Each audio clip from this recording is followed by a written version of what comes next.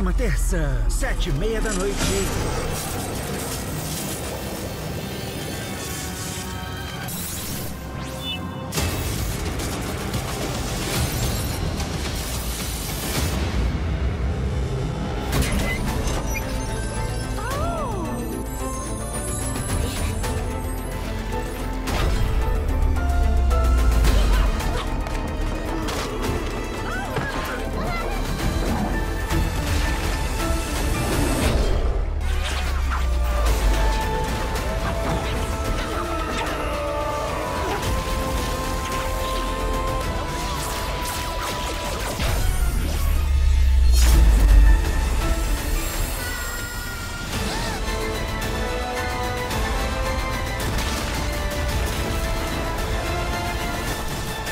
Assista esse episódio duas vezes seguidas.